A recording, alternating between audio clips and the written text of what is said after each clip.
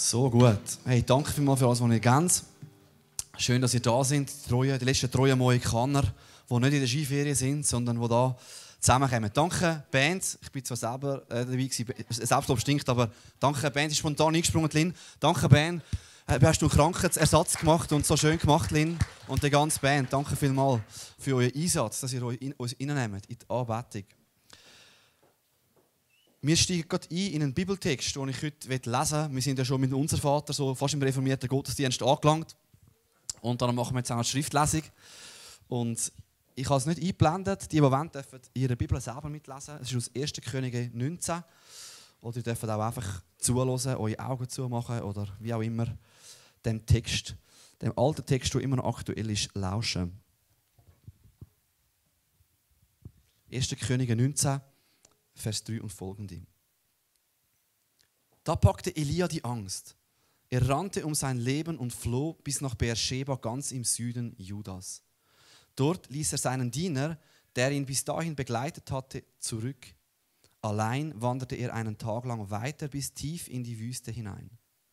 Zuletzt ließ er sich unter einen Ginsterstrauch fallen und wünschte, tot zu sein. Herr, ich kann nicht mehr, stöhnte er. Lass mich sterben.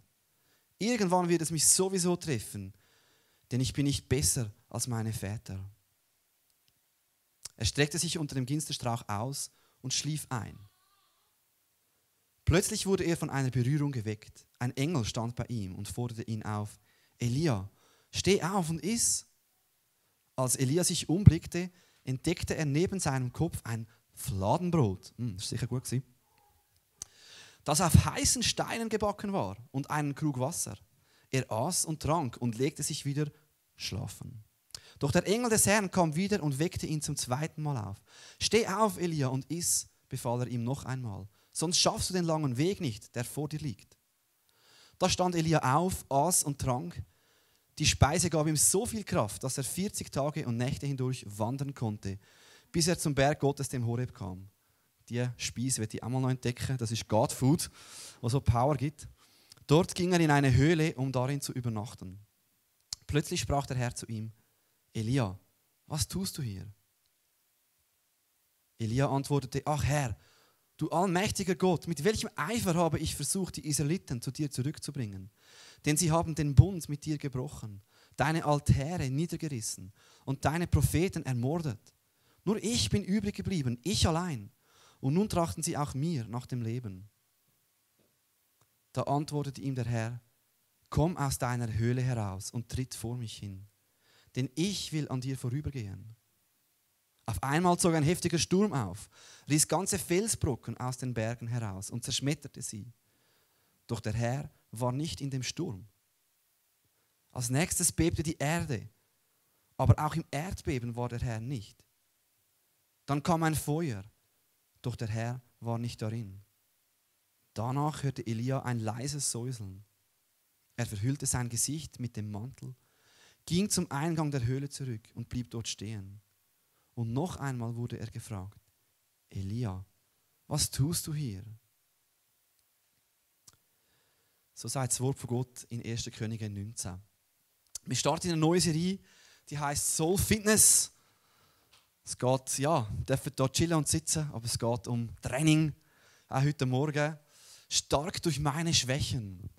Wir werden verschiedene Personen aus der Bibel anschauen, die durch Höchst und Tiefs gegangen sind, die stark durch die Krise durchgekommen sind, aber auch durch die Krise durch neue Kraft bekommen haben. Wir werden echte Menschen anschauen mit Emotionen, mit Gefühl, mit einem Innenleben, mit einer Seele, die nicht nur funktionieren, sondern wo ein Weg, ein Prozess mit Gott durchgehen und wollen schauen, wie unsere Seele in dem auch gesund sein kann, einen Weg mit Gott kann gehen Du und ich, wie unsere Seele bei Gott Platz hat. Und wir dürfen mal fragen, wie geht es eigentlich unserer Seele?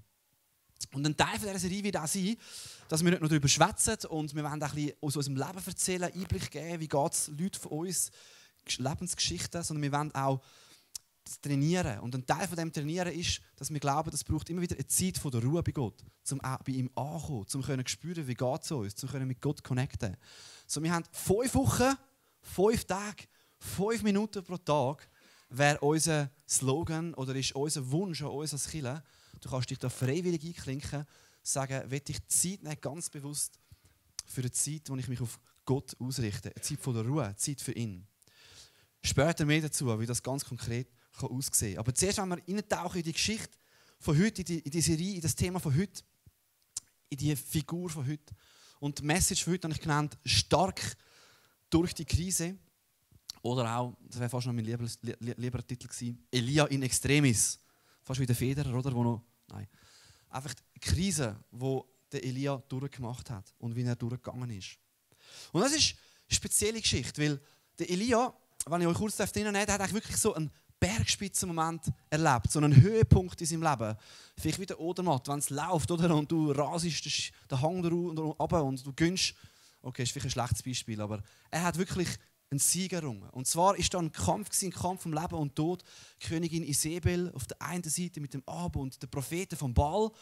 Und sie haben gekämpft gegen die Propheten, die Jahwe dient hat und Gott von Israel. Und das ist ein Kampf um Leben und Tod gewesen. Und Elia hat dann so einen Leaderfight veranstaltet. Er hat gesagt, kommen alle zusammen auf den Berg Karmel. Das ist so der erste, der Höhepunkt, der, der erste Berg, wo der Elia war. Und er hat gesagt, kommen da zusammen, wir wollen schauen, wer der echte Gott ist. Und der Elia hat Sieg auf allen Linien. Er gönnt, Gott offenbart sich als der allmächtige Gott, der eingreift. Es fällt Feuer vom Himmel auf das Opfer, das Elia hergetan hat und verzerrt das Opfer. Bei den Baalpriestern geschieht nichts und der Elia gönnt. Die Propheten vom Baal werden gecancelt.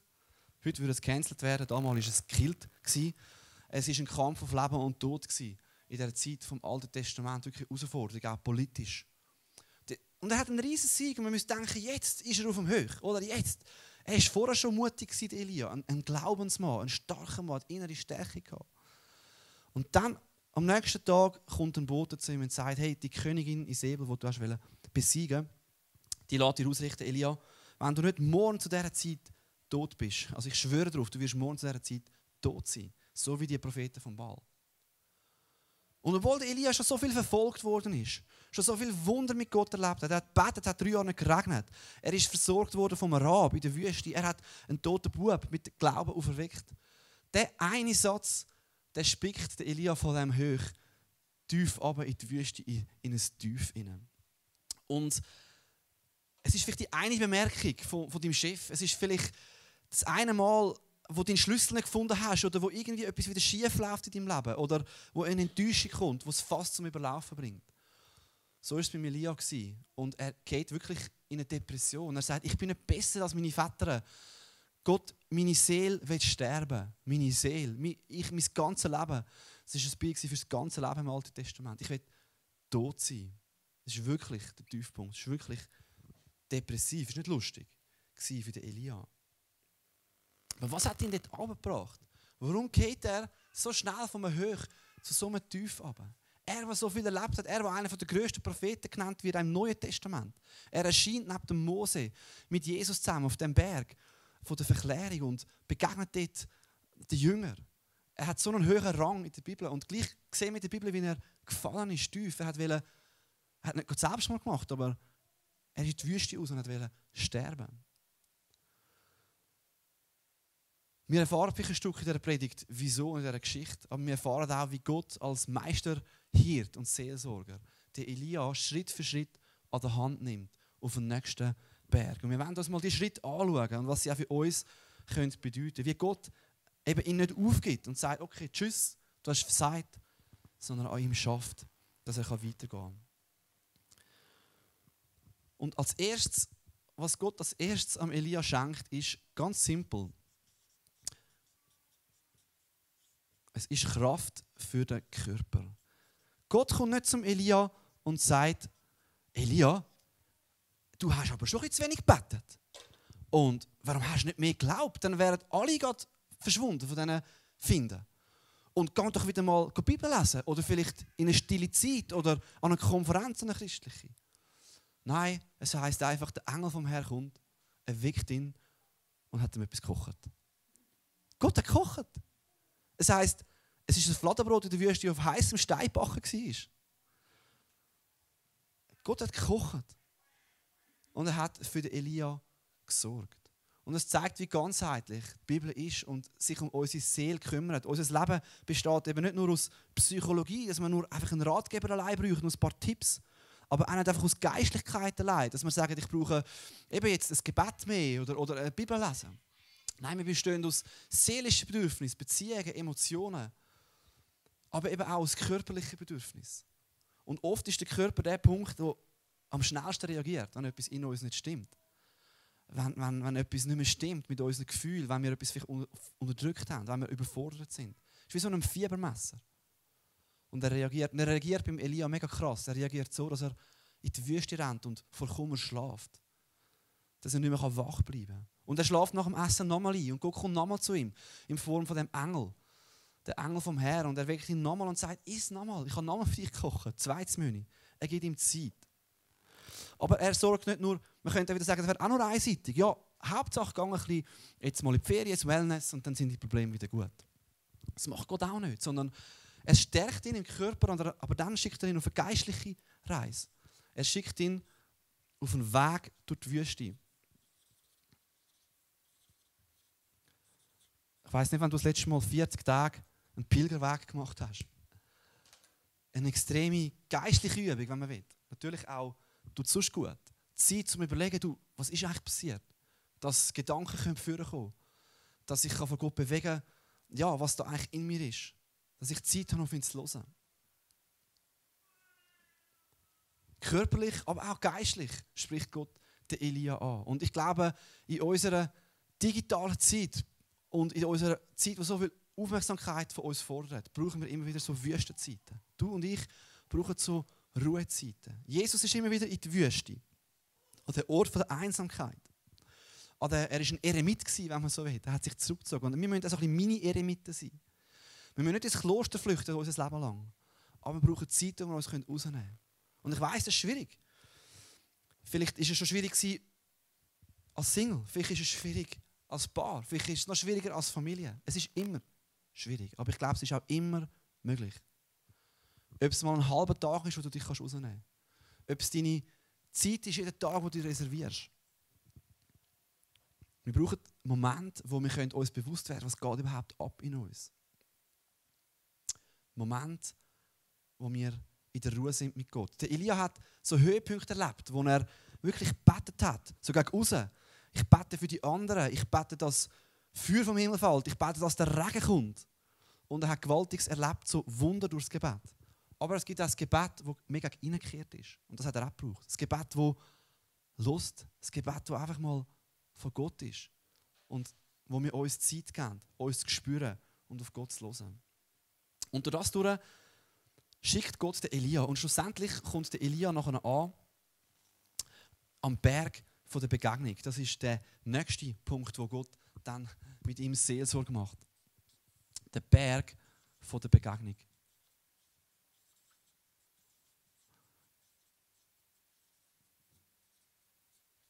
Und was mega spannend ist, Gott hat eigentlich bis dahin praktisch gar nichts gesagt, Emilia. Er hat ihn nicht korrigiert, er hat ihn eingeladen zum Essen, so, aber er hat ihn einfach begleitet, über einen Monat. Und jetzt da an dem Berg der Begegnung kommt Gott als Meisterseelsorger. Und er fängt an mit einer Frage. Er stellt Emilia eine Frage, da in dieser Begegnung. Elia, wie geht es dir? Wie geht es dir eigentlich? Und es ist nicht so, als wüsste es Gott nicht. Also würde denken, du, wie bist du jetzt eigentlich da in die Höhle gekommen? Wo bist du denn durchgelaufen? Oder äh, was ist denn eigentlich passiert äh, auf dem Berg dort? Ich habe es gar nicht miterlebt. Nein, er, er, hat alle Infos. Wenn Gott etwas fragt, dann fragt er nicht, weil er die Infos braucht, wieso es geht, sondern weil wir die Infos vielleicht brauchen, wieso es geht. Vielleicht hast du das schon erlebt, wenn Gott dir eine Frage stellt und sagst, oh wow, ja genau, das bringt mich zum Nachdenken. Und das bringt der Elia jetzt zum Gespräch. Und wir lesen in 1. Könige 19,10, da bricht es jetzt aus ihm raus, was in ihm steckt. Ach Herr, du allmächtiger Gott, mit welchem Eifer habe ich versucht, die Israeliten zu dir zurückzubringen? Denn sie haben den Bund mit dir gebrochen, deine Altäre niedergerissen und deine Propheten ermordet. Nur ich bin übrig geblieben, ich allein. Und nun trachten sie auch mir nach dem Leben. Vielleicht kannst du einen Moment Dinge lassen. Weil da steckt einiges drin, wo Gott jetzt Elia begegnet und eigentlich auch seine oder wo er seine äh, falschen Vorstellungen von Gott auch korrigiert. Wie das erste, wie Gott ihm begegnet ist, was da kommt, der Elia sagt, mit welchem Eifer habe ich das Israel, Volk Israel zu dir zurückbringen? Mit anderen Worten, ich habe meinen Teil vom Plan schon erfüllt. Ich habe meinen Teil gemacht. Aber wo bist du, Gott? Du bist nicht rum. Du hast mich im Stich gelassen. Aber der Punkt ist, der Elia hat eine fixe Erwartung gehabt, wie Gott muss wirken. Wir haben nie gelesen in der Bibel, dass Gott gesagt hat, schau Elia, wenn du auf dem Karmel den Sieger ringst, dann nachher wirst du immer nur Friede, Freude, Eierkuchen haben. Kein Gegenwind mehr, alle Gegner sind ausgelöscht. Wir lesen kein Versprechen von dem, von Gott an Elia. Ich denke, das ist am Elia seine Erwartung gewesen, dass Gott so wirkt, dass er da in der Krise vielleicht wieder einen Sturm schickt und die Säbel auch noch wegfängt. Aber nur weil Gott einmal krass und übernatürlich gewirkt hat, muss er nicht immer so wirken. Es ist eigentlich nicht Gott, wo der Elia enttäuscht hat, sondern es sind die Erwartungen, die der Elia hat an Gott, wo enttäuscht worden sind, wo ihn, wo der Elia enttäuscht haben. Und so korrigiert, das bringt ihn sicher zum Nachdenken da. Und das andere, was Elia sagt, und das ist auch krass, oder nur ich bin übrig geblieben, ich allein. Ich weiß nicht, ob du das auch schon mal gedacht hast. Ich allein. Alle, niemand versteht mich. Nur ich. Und Elia ist genau in das hineingegangen, in die Höhle. Er ist wirklich in einer Höhle inne, oder? Er ist, ja, er ist ja wirklich wörtlich in einer Höhle. Er hat sich zurückgezogen. Und es stimmt aber nicht, weil am Schluss des Text lesen wir, dass 7000 sind noch rum waren, auch andere Propheten, die auch wie die Elia Gott dienen die auch mit ihm unterwegs sind, die auch Gott braucht. Und manchmal machen wir das Kirche und das Reich Gottes noch kleiner, als es überhaupt muss sein. Es gibt noch andere Christen. Es gibt noch andere Kirchen. Gott hat immer noch einen anderen Weg, wie er wirkt. Auch wenn es nicht genau so ist, wie ich es erwarte. Auch wenn es vielleicht nicht so spektakulär ist, wie ich es in der Vergangenheit erlebt habe. Vielleicht wirkt er das mal anders. Und das sehen wir gerade in dem, was jetzt dann passiert. Weil Gott sagt jetzt nach dem Monolog von Elia, nach dieser Frage, wo Elia sein Herz ausschüttet, sagt er, hey Elia, Vers 11, komm aus deiner Höhle raus. Komm raus. Komm raus. Tritt vor mich her. Denn ich will an dir vorübergehen. Nicht eine lange Liste und ein paar Tipps, sondern eine Begegnung mit Gott, wo Gott den Elia herführen will. Und wie begegnet Gott Elia? Das heißt, zuerst kommt ein Sturm geht von Gott her. Aber Gott ist nicht im Sturm hinein. Die Elia hat auch schon mal gebeten dass ein Sturm kommt. Das hat er kennt, etwas Gewaltiges, etwas Mächtiges. Aber das Mal ist es nicht so. Und er betet. Und nachher heißt es, es kommt ein Feuer vor, vor Gott her. Aber Gott war auch nicht im Feuer. Gewesen. Das hat Elia auch schon erlebt. Bam, Action, Wunder, Erweckung. Feuer. Aber das Mal ist Gott nicht im Feuer. Und dann heißt es, es ist ein Erdbeben, das vor Gott hergeht. Aber Gott ist auch nicht im Erdbeben. Das sind alles Formen, wo Gott schon in der Bibel erschienen ist. An dem Berg, an dem Berg da, wo eigentlich der Horeb ist, da steht auch, viele sagen, das ist auch der gleiche Berg wie der Sinai, dort, wo Gott das Gesetz am Volk gegeben hat. An dem Berg ist Gott, wo das Gesetz kam, zu im Erdbeben zu ihnen gekommen. Am Mose ist er im brennenden Busch im Feuer erschienen.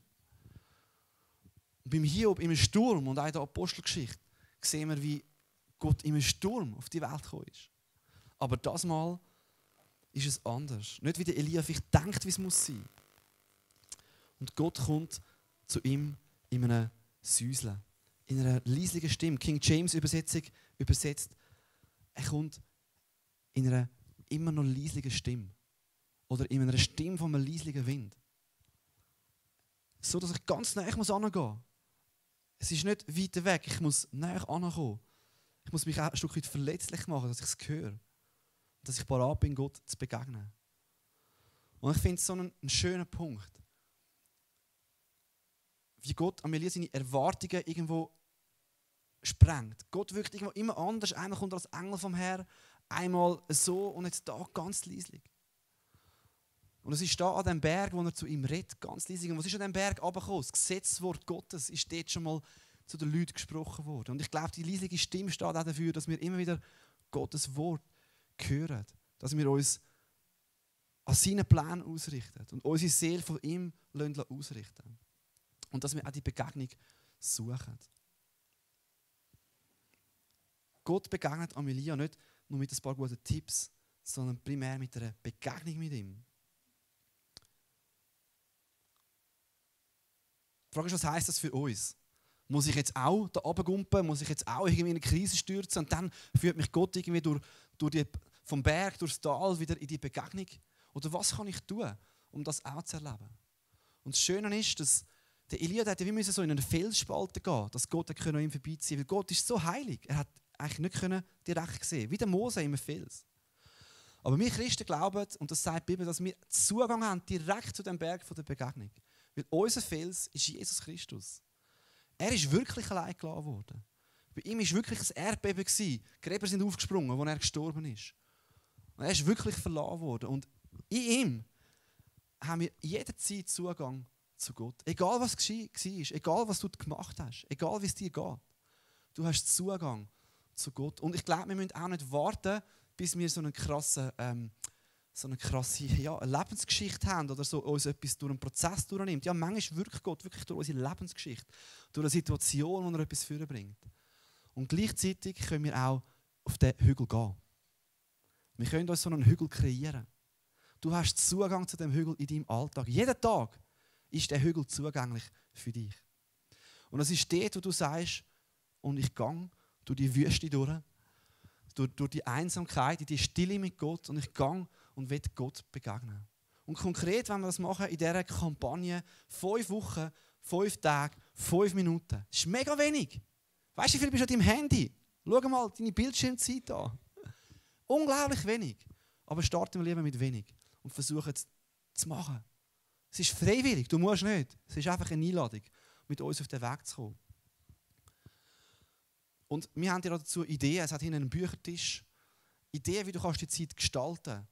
Ideen, was du kannst machen kannst. Vielleicht willst du ganz ruhig sein und einfach mal nichts machen, einfach hören. Vielleicht willst du laufen. Vielleicht willst du etwas in der Bibel lesen. Vielleicht willst du Andachthilfe nehmen, was es hat.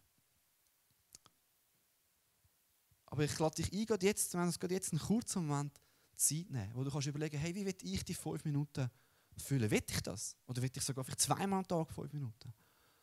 Oder mal etwas Spezielles machen in diesen fünf Wochen, in diesem Monat Februar. Wie könnte ich Gott in meinem Alltag ganz konkret begegnen? Komm, wir machen unsere Augen für einen Moment zu und ja, fragen einfach Gott, was, wie kann ich so einen Hügel kreieren in meinem Alltag?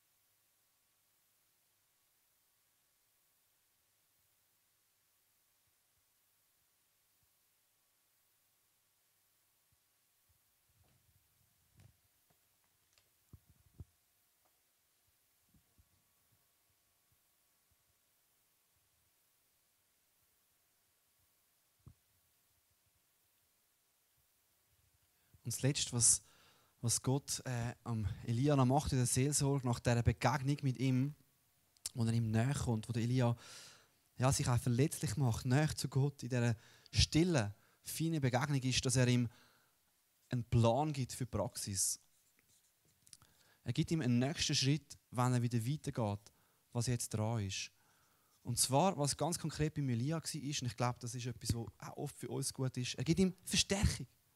Er sagt Elia, und jetzt gang, salb der und der König, der und die Person zum neuen König, die werden für dich sein, für mich, und salb der Elisa zu meinem Nachfolger. Und er gibt ihm eine Idee, was jetzt der nächste Schritt ist. Er sagt, du musst nicht allein bleiben. Es gibt andere, die mit dir sind, die mit dir durch den Weg gehen können. Und genau das kann so ein Plan sein. Ein Plan, was brauche ich? Ein Plan, ich brauche Ruhe. Ein Plan, ich brauche irgendwo oder Erholung. Ich brauche eine Einsamkeit. Ich möchte Gott begegnen möchte ich irgendwo ihn suchen. Und vielleicht ist es etwas ganz anderes. Ein Gespräch, das du musst führen mit jemandem, wo dir in dieser Zeit mit Gott wieder bewusst wird. Und dass wir jetzt nicht nur darüber schwätzen, wie es uns geht und unserer Seele, haben wir gedacht in dieser Serie, wenn wir auch punktuell Leute führen bitten, es muss nicht immer ganz genau matchen zu, zu, zu, dem, äh, zu dieser Message, die einfach auch aus einer Herausforderung von ihrem Leben erzählen.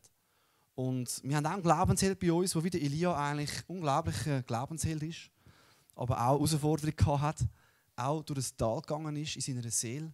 Und tun wir doch mit einem Applaus bei uns den Divo begrüßen, der uns aus seinem Leben noch etwas wird erzählen wird.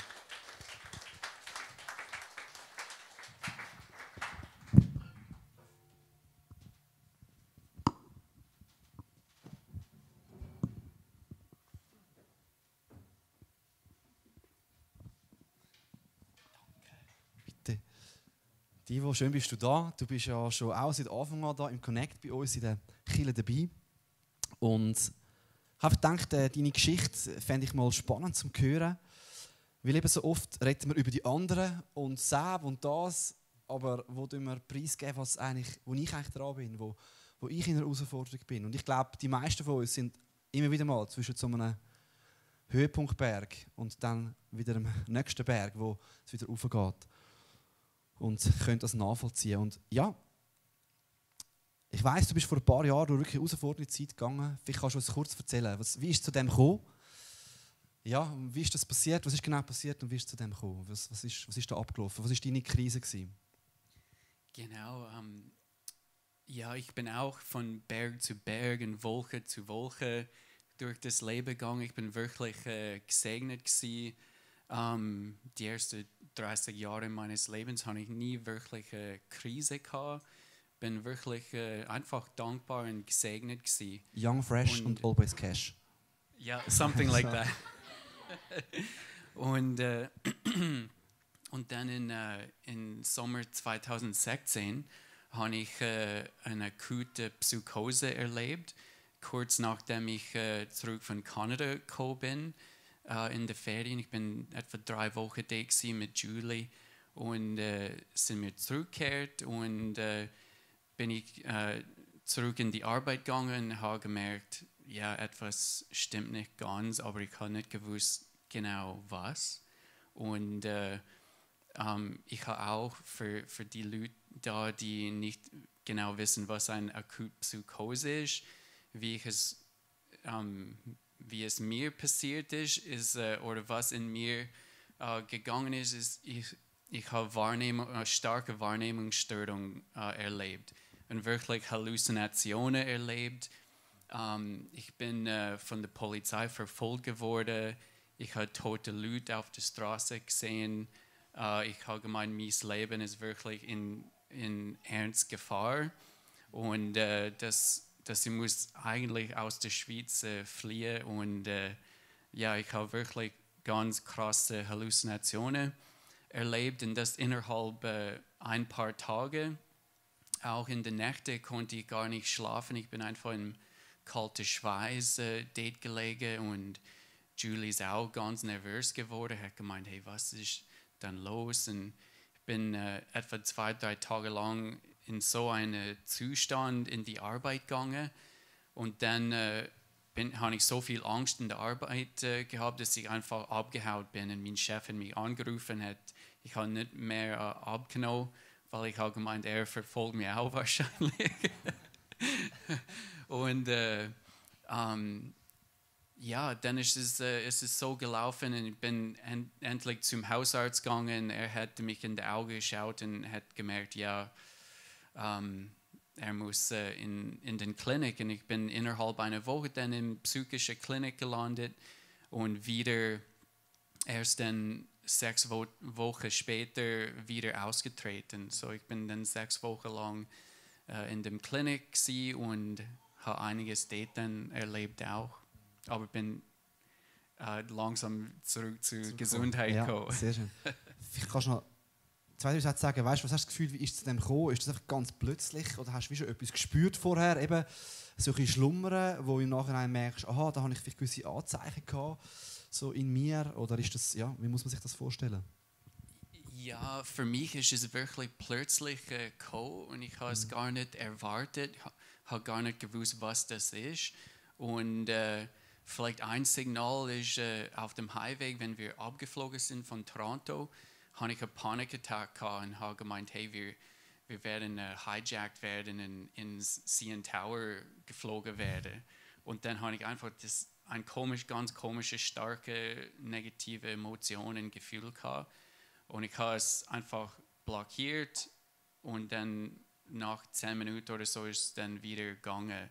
Aber das war das erste Signal, dass etwas nicht ganz stimmt. Und, äh, aber sonst kam es wirklich unerwartet und ich habe gemeint, ich bin ein ziemlich ausgeglichener Mensch, meistens fröhlich und äh, motiviert und so.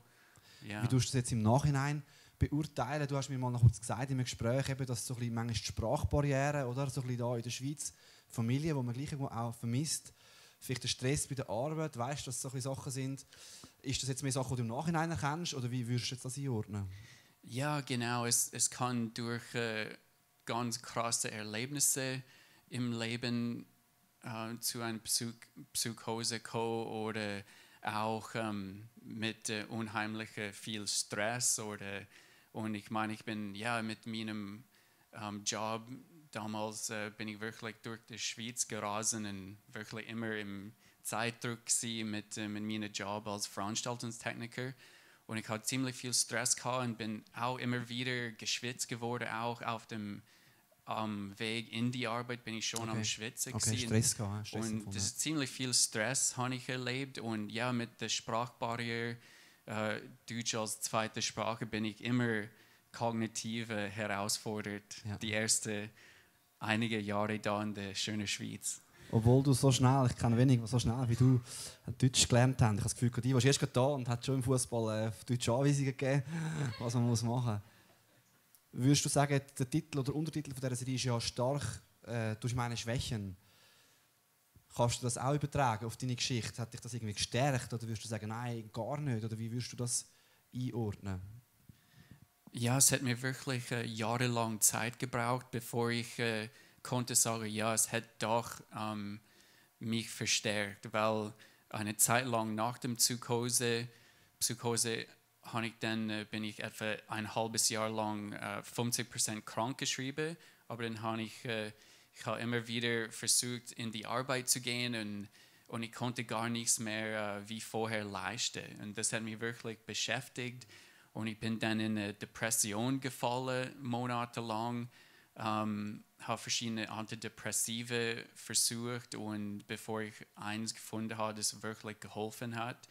Und ich bin monatelang wirklich äh, nur in die Arbeit gegangen, nach Hause gekommen und auf dem Sofa gelegen und die interessante weiße Wand in meiner Wohnung äh, stundenlang angeschaut. Ich bin, ich bin so leer gewesen und das monatelang und ich habe gemeint, hey, was, Gott, was, was ist da los? Ich weiß, du bist immer noch bei mir und ja, ich habe keine Glaubenskrise gehabt, weil ich habe gewusst, Gott hat, äh, hat das erlaubt und er hat gute Pläne für mich.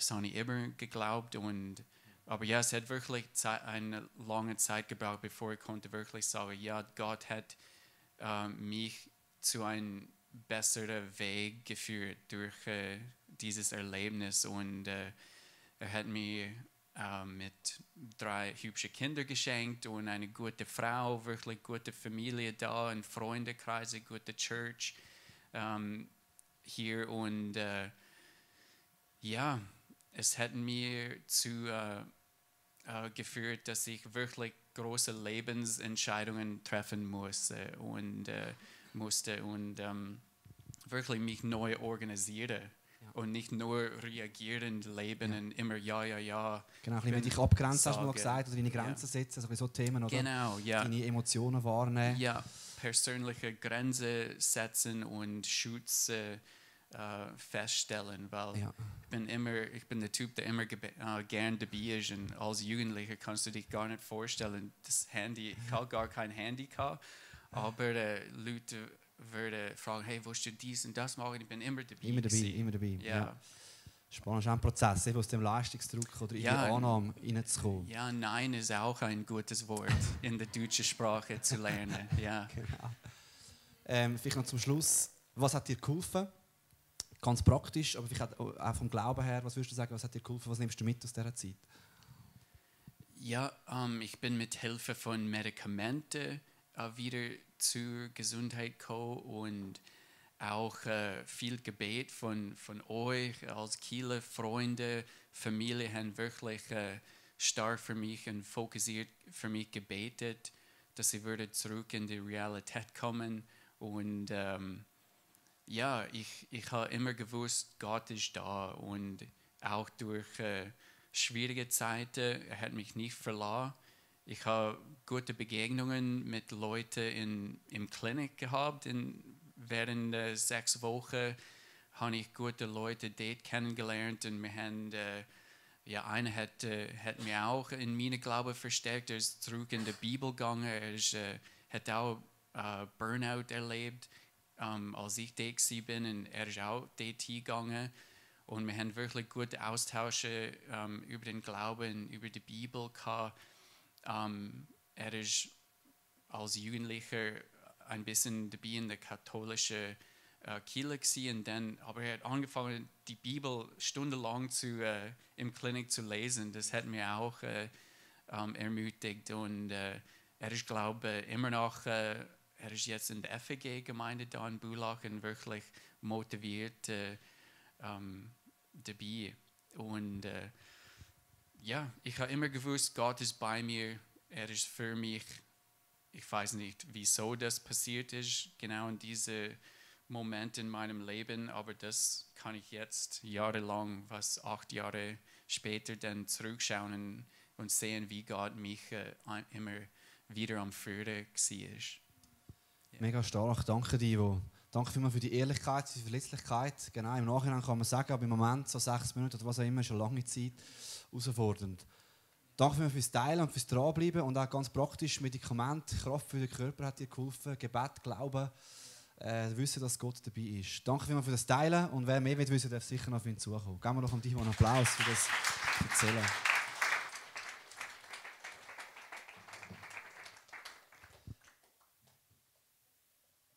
Genau, ja, die Band darf gerade kommen. Wir wollen noch in, eine, in ein Schlusslied gehen und ins Gebet.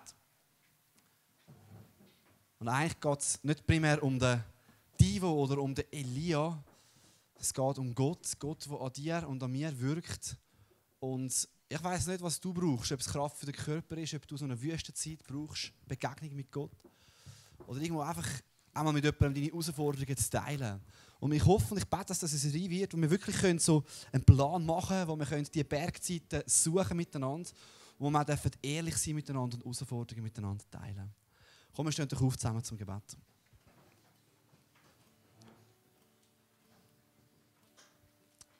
Vater im Himmel, ich will dir Danke sagen. Danke, dass wir da vor dir sein Und ja, ich denke, jeder von uns ist irgendwo entweder auf einem Berg oder zwischen so zwei Bergen. Du weißt gerade, wo wir stehen, Herr. Und wo du willst ansetzen bei uns mit deiner feinen und guten Art. Ob wir ein spektakuläres Wunder brauchen. Und vielleicht brauchen wir es, aber wir denken, wir brauchen es, aber wir leben es gerade nicht und sind frustriert wie der Elia, dass nicht mehr passiert. Aber du wirkst ganz anders im Moment an uns. Du bist dran mit uns, wenn wir es vielleicht nicht sehen. Und hilf uns in dieser fünf Wochen, in dieser Zeit, wirklich unsere Seele dir anstrecken dass wir anschauen wie geht es uns. Dass wir die Sachen korrigieren lassen, wo wir vielleicht ein kleines Bild von dir haben. Wo wir uns selber zu wenig kennen und über oder unterschätzen. Dass wir immer wieder so Bergbegegnungen mit dir haben. Ich bete das wirklich für unsere Church. Dass, dass du wirklich Priorität bist. Nicht nur auf unseren Lippen, sondern in unserem Leben. Dass wir nicht nur darüber reden, sondern dass wir es tun. Dass wir nicht einfach alles andere zuerst stellen und alles andere auf den Berg verschleppen. Und alles, was ich noch sonst will, sondern dass du unsere Priorität bist. Und ich glaube, von dir her fließt so viel Leben wieder oben runter in unseren Alltag hinein. Und ich setze das wirklich frei, dass wir eine Kirche sein, die betet. Eine Kirche sein, die zu dir kommt. Eine Kirche, die reif wird in ihrem Charakter und ihrem Glauben. Und danke dürfen wir auch einander tragen durch die Krise her. Ich habe meine Probleme. Jeder hat seine Herausforderungen. Und du bist mit uns. Wir müssen es nicht verstecken. Herr, der Elia, der größte Prophet, einer der grössten Propheten der Bibel, steht seine große Krise bis fast zum Selbstmord steht in der Bibel. Und danke hat bei dir alles Platz. Dürfen wir so vor dich kommen, wie wir sind und werden von dir verändert. Amen.